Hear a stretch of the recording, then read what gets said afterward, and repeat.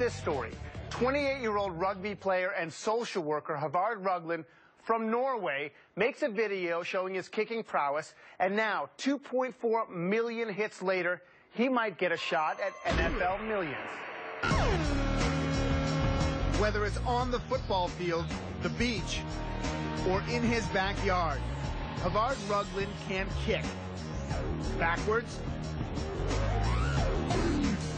with both feet, even into a canoe or a basketball hoop. The Norwegian youth counselor had some free time on summer vacation, so he decided to show off his legs with some friends and a camera. I wanted to show that I was a good kicker, but but I, I would never, I, I was never thinking it will end up like this.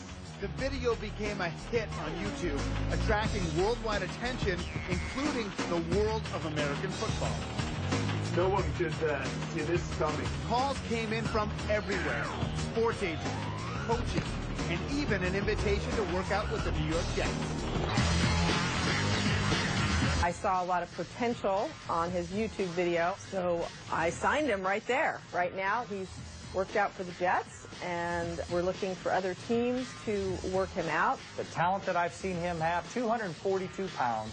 He's six foot two. He's 28, so he's got some seasoning underneath him. I would think that his club soccer team folding may be the best thing that ever happened to him. Matt Stover made nearly 500 field goals and won a Super Bowl in the NFL.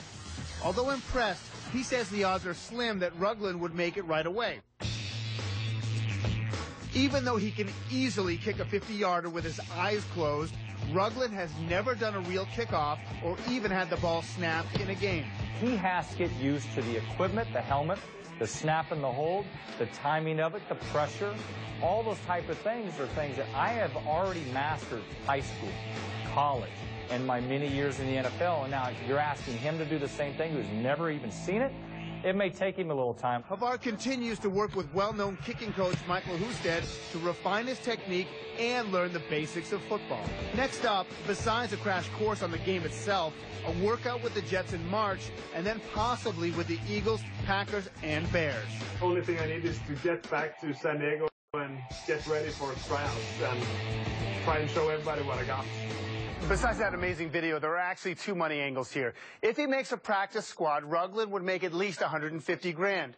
If Rugland makes a roster, it would be at least double that.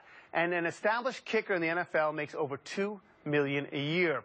Of course, getting there is the issue. Rugland would rather be training in the U.S. right now, but he can't afford to make the trip and stay here. What he needs is a sponsor.